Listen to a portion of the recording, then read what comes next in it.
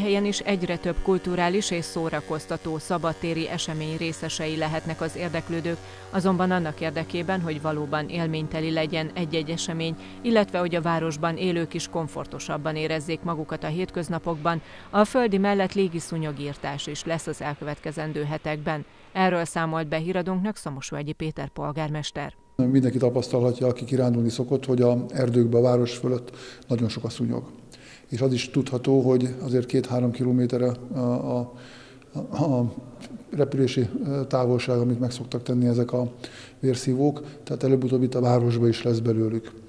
Több alkalommal volt, volt már melegköt földírtás, és a jó hírem az, hogy nem csak melegköd gyártás lesz, vagy volt, hanem légírtás is.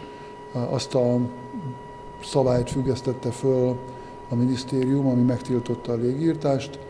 Itt több alkalommal, négy alkalommal lesz légírtás, és hogyha kevés, akkor még földírtást fogunk kérni hozzá.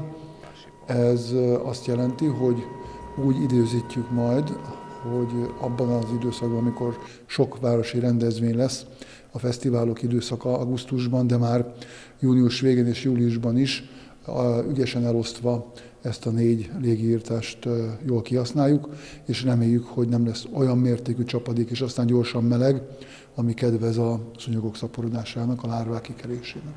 Új ütemterv szerint és az önkormányzat saját költségvetése terhére végezteti majd el ezeket a munkálatokat. Azt mindenkinek tudnia kell, hogy a magyar települések három részében nincs szúnyogírtás, nem ismerik ezt a kifejezést, van, ahol soha nem is volt nem kötelesség az önkormányzatnak a szúnyogírtás, hanem lehetősége és pénztárca kérdése. A mi városunk tavaly is retentő rossz pénzügyi állapotban volt, mégis folyamatosan kaptuk a kritikát, hogy sok a szúnyog.